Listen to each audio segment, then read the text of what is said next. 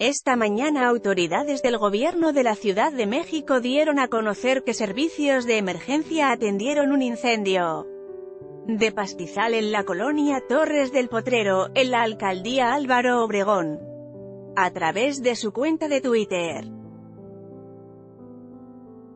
El Centro de Comando, Control, Cómputo, Comunicaciones y Contacto Ciudadano informó que el fuego se registró en Avenida de las Torres y Mirador. Hasta el momento, no se reportan víctimas ni se han dado detalles de lo que pudo causar el siniestro, sin embargo, este ya ha sido controlado por los bomberos.